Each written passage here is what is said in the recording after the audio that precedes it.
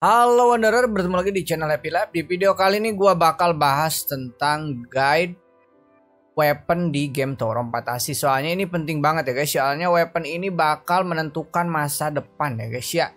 Damage kalian ini guys. Soalnya kalau kalian salah pilih weapon, wah bahaya guys. Soalnya ini harus uh, berdasarkan combo ya guys. Kalian itu mau main physical, mau main flame, main ice, main volt atau main element aberration. Nah, di sini gua bakal kasih guide sejelas-jelasnya ya guys agar kalian paham untuk para player pemula. Kita langsung saja ke videonya, let's go. Oke guys, gue sudah ada di tab list. Nah, di sini gua bakal jelasin bakal kasih contoh ya guys satu tim yang harus kalian build build ya guys ya agar kalian itu bisa survive di game Tower Fantasi. Soalnya gacha di game Tower Fantasi itu kalian itu gak bisa cuman B1 atau B0 guys.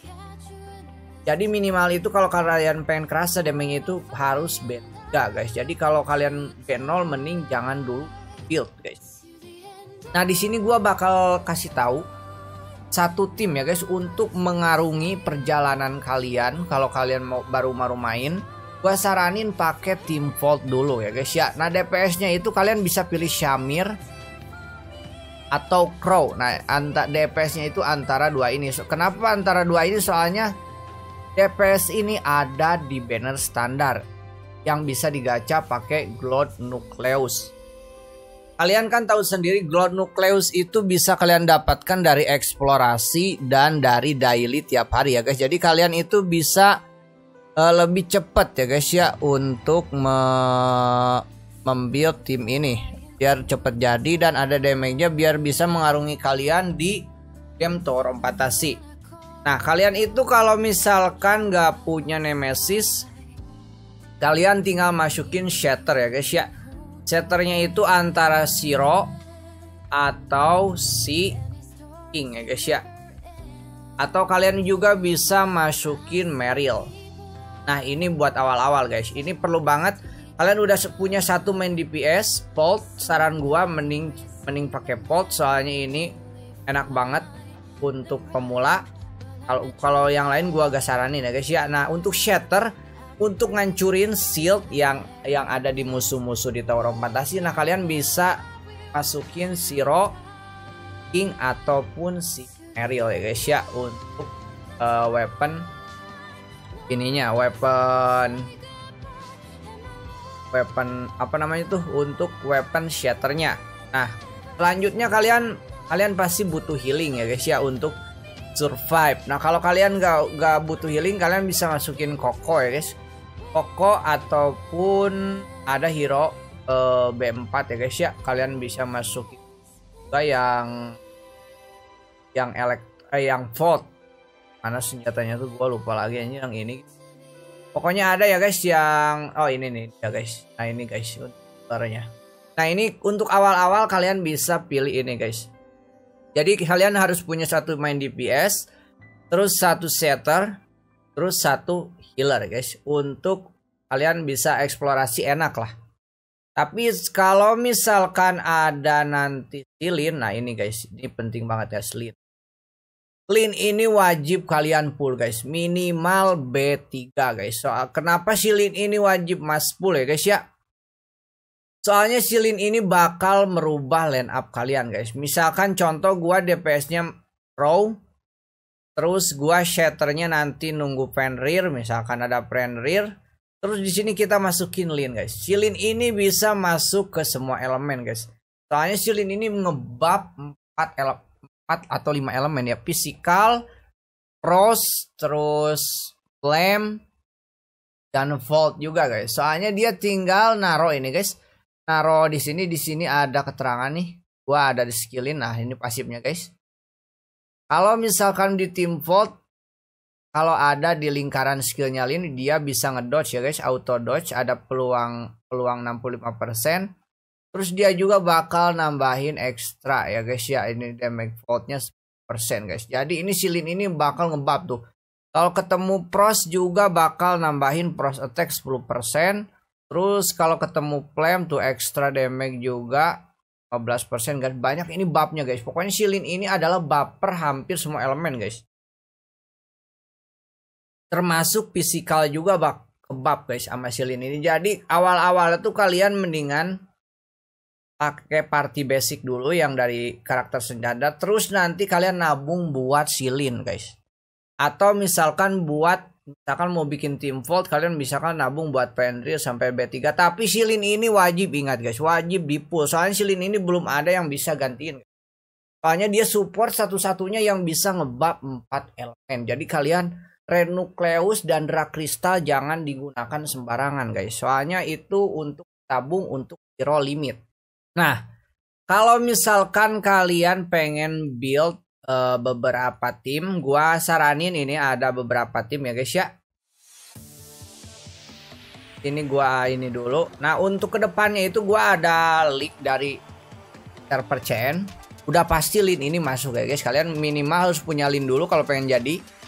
Terus kalian kalau DPS-nya Crow, nah nanti tinggal masukin Penrir ya guys ya. Misalkan di sini Penrir kalian masukin atau misalkan DPS Syamir harus ada Penrir guys. Soalnya Penrir itu adalah shatter dari elemen Volt.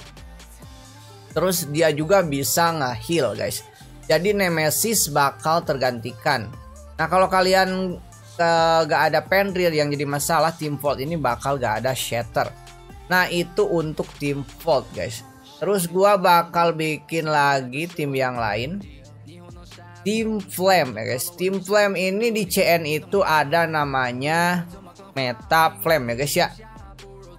Meta Flame itu kalian untuk sementara udah pasti pakai King atau misalkan yang udah punya Ruby. Ya kalau udah punya nggak akan punya Ruby ya guys ya. Udah pasti pakai King terus satu Flame lagi siapa ya? Paling kalian masukin satu DPS guys di sini mungkin masukin si Uma atau Zero ya guys ya untuk tim Flame. Nah ini juga bakal digantiin guys Si King sama si Jero ini bakal diganti King Jero ini bakal diganti sama yang namanya itu adalah Annabella dan Lan guys. Nah di Annabella, Ran, Lan atau Ruby. Nah di sini semuanya hero limit. Jadi untuk bikin flame ini agak mahal ya guys ya. Soalnya hero limit semua guys. Kalian butuh Ruby atau si Lan Terus nanti kalian juga butuh Annabella untuk DPS-nya sendiri guys. Nah, di sini Annabella dan Ruby. Nah, kalian bisa bikin Annabella Ruby atau Annabella Lan guys, tapi Lan itu masih lama ya guys keluarnya. Jadi kalian bisa bikin tim untuk dari tim Flame.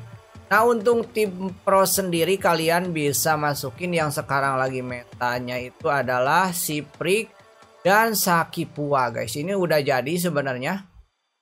Cuman si Jilin ini masih bisa digantikan oleh Subasa guys. Subasa. Nah.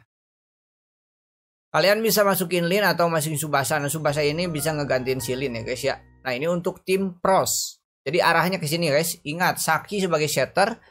Lin buat support. Terus si Rick ini adalah main DPS-nya guys. Nah kalau misalkan Alis datang nanti. Si Prik ini bakal digantiin sama Alis ya guys ya. Alis itu ada di sini ada Alis. Alis mana? Fenrir Umi. Nah ini Alis guys. Alis. Alis ini salah satu main DPS juga guys ya. Dari pros. Mantap guys. Ini kalau kalian mau bikin tim pros guys ya. Nah itu untuk bayangannya kalau kalian mau bikin tim pros. Nah kalau kalian mau bikin tim yang lain tim fisikal kalian sekarang bisa masukin Lira ya guys ya. Lira ini lagi meta banget sekarang ini soalnya ada tantangan Cilira ini emang gak bisa mati-mati kok. Cilira, nah ini guys, Cilira. Cilira ini wajib kalian guys kalau misalkan kalian mau build healing yang benar-benar edan ada shieldnya Lira ini is the best guys ibarat itu kalau di Genshin itu Jongli guys nah kalian bisa masukin si Lira guys weapon Lira nanti gacha untuk fisikal nah untuk fisikal udah pasti harus ada Claudia guys si Claudia ini ngisi chartnya cepet banget terus dia juga bisa nge-shatter juga guys Nah kalau misalkan kalian pengen metafisikal udah pasti nanti masukin si Umi guys Sini Umi itu metafisikal Nah kalian nabung berarti kalau kalian misalkan untuk sementara kalian bisa pakai Lin, Claudia dan Lira Nah, si nanti kalau kali si Lira itu bakal digantiin sama si Umi ya guys. Soalnya si Umi ini memang pure main DPS. Terus dia nambahin juga crit ya guys untuk asken dari nya. Nah, itu guys untuk um, mau kalau kalian mau build physical. Nah, untuk selanjutnya elemen apa lagi yang terakhir itu? Nah, sepertinya guys, jadi Vault udah, Physical udah, Flame udah, terus Pros udah guys. Nah, itu jadi bayangan untuk build tim weapon kalian. Jadi ingat guys, Silin ini penting banget di tim untuk meta sekarang guys. Soalnya di CN juga ini, ini belum ada yang bisa gantiin. Jadi kalian Red Nucleus dan Drakrista tabung buat gacalin guys terus tanya gacha tim kesukaan kalian mau bikin cross mau bikin kal flame ataupun volt ya guys ya jadi kalian pikir baik-baik. Nah oh ada yang lupa. Kalau kalian pengen bikin the best team untuk Vault, kalian bisa mas gak akan masukin Crow. Kalian kalau misalkan Sultan, kalian bisa gacha Tiang Lang guys. Tiang Lang ini salah satu DPS uh, ini juga guys DPS Vault nanti jadi timnya itu adalah Lin, Tianglang dan Petir guys ya. Jadi itu tim mahalnya Vault kalau pengen bener-bener end game nah itu guys untuk uh, tips dan trik cara membeli weapon ya guys. Jadi kalian udah tahu ya guys untuk awal-awal tadi udah saya jelasin udah pasti kalian pakai Crow, Shamir, King ataupun yang lainnya lah. Untuk main DPS kalian shatternya bisa pakai Meryl di sini shatter. Kalian bisa pakai Huma juga bisa guys ya. Nah ini untuk awal-awal kalian pakai empat hero ini sama satu healer kalau kalian butuh